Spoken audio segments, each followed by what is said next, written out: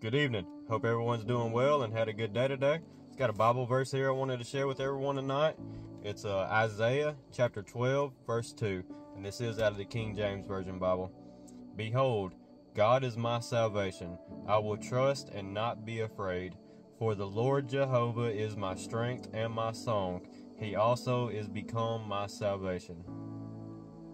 It's a promise from God to his people that God is our salvation and that we can trust in him and not be afraid. Um, the Lord is our source of uh, stability, uh, safety, and power. Uh, God is our song, which means that we will spread his word and what he has done for us. Salvation is the deliverance from the power and effects of sin and being saved from the pits of hell uh, through Jesus Christ. Uh, through Jesus Christ, we can have eternal life in heaven with Him.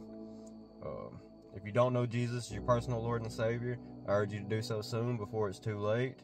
Uh, all you have to do is uh, trust in Him with all your heart, mind, and soul. Believe that He was crucified on the cross to pay the ultimate price for our sins and rose again on the third day. Uh, repent of your sins and ask Him into your heart as your personal Lord and Savior. Then, after you have done this, uh, find you a good Bible believing church that teaches the truth and follows the Bible. Uh, it won't always be perfect, but it'll be worth it when we walk the streets of gold with Him in heaven.